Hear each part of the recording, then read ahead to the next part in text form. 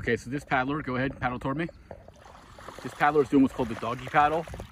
If you notice how her hands are inside the paddler's box, and what she's doing, she has no real control over the kayak. As you can see, we're rising out of the way, and then she's paddling past me very quickly, very inefficiently, and she's going very, very quickly.